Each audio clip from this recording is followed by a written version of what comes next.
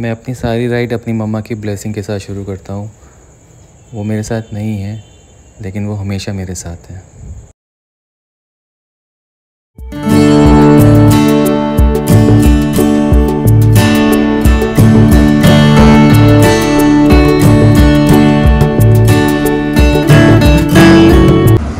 Good morning मिल गए एक और राइड पर। ये है ड्रीम राइड लद्दाख के लिए। जिस तरह से माता वैष्णो देवी की यात्रा भैरव बाबा की दर्शन के बिना अधूरी है, उसी तरह अगर आपके पास बुलेट है तो लद्दाख जाए बिना आपकी लाइफ अधूरी है। अगर आपके पास बुलेट है, अपनी बुलेट निकालिए और लद्दाख जाइए, जिस तरह हम जा रहे हैं। हम चार फ्रेंड्स डी आर की तरफ़ से लद्दाख के लिए निकल रहे हैं। मेरे साथ है आकांक्षु, इधर है दीपक भाई, इधर है बड़े राणा जी जो आपको भूटान राइड पर भी मिले थे। यहाँ से हम स्टार्ट कर रहे हैं, इस टाइम हम बरगा चौक पे हैं। यहाँ से जर्नी स्टार्ट करेंगे, वाया चंडीगढ़ होते हुए जाएँगे। तो सारी अपडेट आपको मिलती रहेगी, किस तरह लद्दाख जाना है, कैसे पहुँचना है, क्या खर्चा है, सारे अपडेट आपको मिलेगी। Stay tune on life on YouTube अगर आपने अपनी राइड को एंजॉय करना है और उसको सफल बनाना है तो उसका एक गुरु मंत्र है कि आप मॉर्निंग में जल्दी स्टार्ट कीजिए। आप जितनी जल्दी मॉर्निंग में स्टार्ट करेंगे, उतनी जल्दी आप अपनी डेस्टिनेशन पहुँचेंगे और इन्जॉय कर पाएँगे। रास्ते में कम से कम टाइम स्पेंड करें, जहाँ भी चाय कॉफ़ी के लिए रुके, वहाँ जितना जल्दी हो सके करके निकलें। आप अपनी डेस्टिनेशन पर जितनी जल्दी पहुँचेंगे, उतना ज़्यादा आप इन्जॉय कर पाएँगे। हमने दिल्ली से स्टार्ट किया था करीब साढ़े चार बजे और इस टाइम बज रहे हैं आठ। हम पहुँच गए खन्ना। तो हम बहुत आराम से आए हैं, अच्छी स्पीड मेंटेन करके आए हैं। इसी तरह हम आगे भी चलते हैं। आगे की अपडेट आपको धीरे धीरे मिलती रहेगी। राइड पे हो गया सीन 50 किलोमीटर पीछे जहाँ पे पेट्रोल डलाया था, वहाँ पे गलती से मेरा टैंक बैग पेट्रोल पंप पे ही रह गया। पेट्रोल पंप वाले का नंबर बड़ी मुश्किल से मिला। उससे बात हुई है, वो अभी किसी गाड़ी से भिजवा रहा है अभी हमको आगे 50 किलोमीटर जाना पड़ेगा वो उधर से 50 किलोमीटर आएगा। तो देखते हैं फिर कैसे पहुँचते हैं लिफ्ट लेके जाते हैं या किसी गाड़ी से जाते हैं बस से जाते हैं। लद्दाख बाइक राइड में एक प्रॉब्लम हो गई है हमने जहाँ पे पेट्रोल भराया था वहाँ पे मेरा टैंक बैग वहीं पे रह गया है।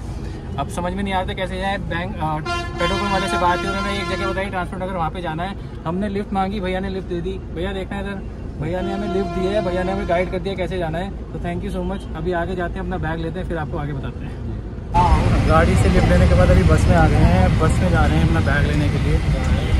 आगे देखते हैं क्या होता है। तो बैग लेके हम आ गए अब यहाँ से जम्मू रह गया है। 200 किलोमीटर यहाँ पे हम खाने के लिए रुके हैं। यहाँ पे अंकल जी मिल गए। हमारे अंकल जी? ये हमारे अंकल जी मिल गए हैं। इनको हमने अपना यूट्यूब सब्सक्राइब कर दिया है। अभी अभी हमारी यूट्यूब वीडियो देखेंगे। ये देख रहे हैं? देख रहे हैं। ये देखो। यूट्यूब पे वीडियो देख रहे हैं। और अंकल जी को आँखों के बारे में बता दिया है कोई दिक्कत होगी तो अंकल जी फ़ोन कर लेना उसमें नंबर भी है। ठीक है ठीक है ठीक करा के नंबर का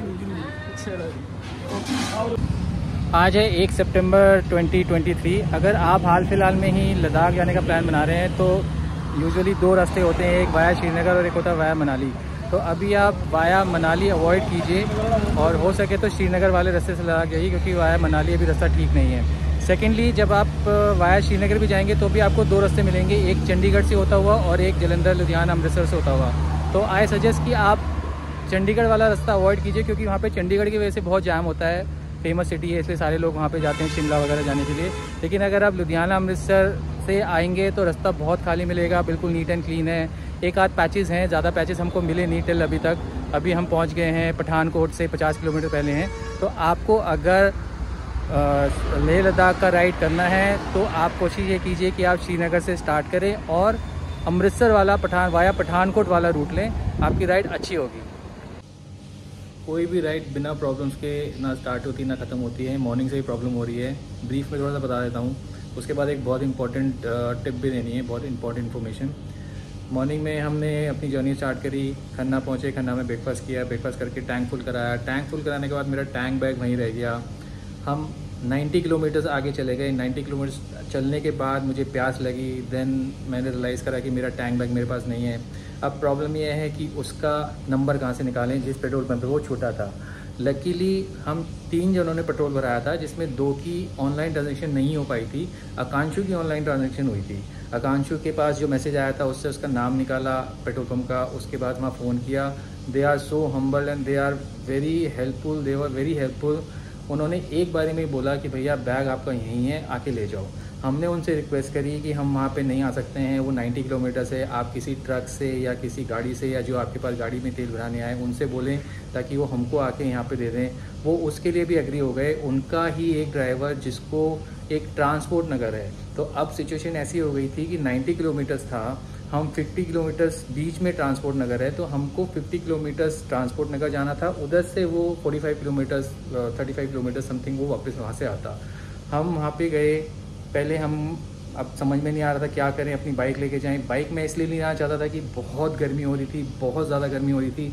अगर हम ये 80-90 किलोमीटर्स डबल दोबारा करेंगे तो फिर बैक में प्रॉब्लम होगी, आगे चलना मुश्किल हो जाएगा। तो हमने डिसाइड करा कि सड़क में किसी से लिफ्ट लेते हैं, जो कि आज तक कभी ली नहीं। लिफ्ट लेते हैं लिफ्ट लेने के बाद आगे जाते हैं, फिर देखते हैं क्या होता है। लकीली लिफ्ट ली और लिफ्ट भी किसकी मिली? रेंज रोवर की। अपनी लाइफ में मैं पहली बार रेंज रोवर में बैठा था। भैया को हमने प्रॉब्लम बताई, भैया ने रेंज ओवर रोकी, हमें अंदर बिठाया। उसके बाद जहाँ तक वो जा सकते थे, वहाँ तक वो गए। उन्होंने खुद पेट्रोल पम्प वालों से बात करी, पेट्रोल पम्प वालों को सबको समझाया। देन हमने वहाँ से बस लिया। बस लेके हम ट्रांसपोर्ट नगर पहुँचे। ट्रांसपोर्ट नगर में अब ढूंढना मुश्किल हो गया बतने से बात नहीं हो पा रही थी। देन हमने डिसाइड करा कि यहाँ से अब हम वापस कैब करके जाएँगे, क्योंकि वहाँ पे जो हमारे दो, मेरे साथ दीपक भाई आए थे, अब वहाँ पे हमारे राणा जी और आकांशु गर्मी में परेशान हो रहे थे तो हमने डिसाइड करा कि यहाँ से बैग लेके जल्दी से और हम कैब में जाते हैं। कैब वाले ने हमसे दो हज़ार रुपये लिए इट्स ओके okay, कोई बात नहीं। मैं बाकी जो फ्रेंड्स बैठे थे उनको और लेट नहीं कराना चाहता था। कैब वाले को भी वो जगह ढूँढने में मुश्किल हो रही थी जहाँ से हमको बैग लेना था। सोचो हम कैसे ले पाते जो कि वहाँ का लोकल बंदा था। चलिए एक बुज़ुर्ग से अंकल जी आए मैंने उनके पैर छुए उनका थैंक यू करा उनको बोला अंकल कुछ चाहिए? उन्होंने मना कर दिया। वहाँ से आ, अपना टैंक बैग लिया और वापस हम आ गए फगवाड़ा जहाँ पे ये आ, हमारा वेट कर रहे थे। अब उसके बाद वहाँ से अपने अपनी जर्नी स्टार्ट करी। एक और प्रॉब्लम जैसे ही हमने जम्मू में एंटर किया, ये बात आप ध्यान कर लीजिए कि अगर आप दिल्ली से या दिल्ली, जम्मू के बाहर से दिल्ली में एंटर कर रहे हैं तो वहाँ पे आपकी प्री पेड सिम नहीं चलेगी। आपकी प्री पेड सिम नहीं चलेगी। जम्मू में एंटर करती हमारी सिम बंद हो गई अब प्रॉब्लम ये हुई कि हम दो राइडर दोनों राणा और आकांशु और दीपक, दोनों अलग हो गए हैं। हम जम्मू में आ गए हैं, माता के दरबार के पास श्राइन बोर्ड का एक भवन है, श्राइन बोर्ड का एक होटल टाइप से वहाँ पे हमने रूम ले लिया अच्छा खासा रूम है। अब हम यहाँ पे आ गए हैं। अब हमें ये नहीं पता कि आकांशु और दीपक भाई कहाँ हैं। तो अभी हम नीचे जा रहे हैं। नीचे जाके हम एक सिम खरीदेंगे, उसके बाद वो नंबर ग्रुप में एक्सचेंज करते हैं, फिर देखते हैं कहीं से उनसे कॉन्टैक्ट हो पाता है कि नहीं। तो मॉर्निंग से ही कुछ ना कुछ कुछ ना कुछ लफड़े चल रहे हैं, लेकिन डर के आगे जीत है। हिम्मत नहीं, हारनी है। ले जाना है, ले घूम के आना है और जय माता दी करना है।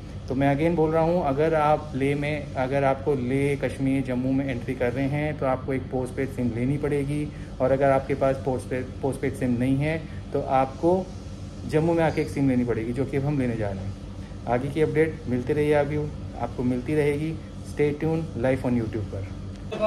तो यहाँ पे हम भैया की शॉप पे आ गए। यहाँ पे दो सिम हमने ले लिए। एक एक्टिवेट हो गई है, दूसरी एक्टिवेट कर रहे हैं। अब ये नंबर एक्टिवेट करके फिर मनोज जी को कॉल करता हूँ। वहाँ पे शायद आकांक्षी कॉन्टैक्ट करे।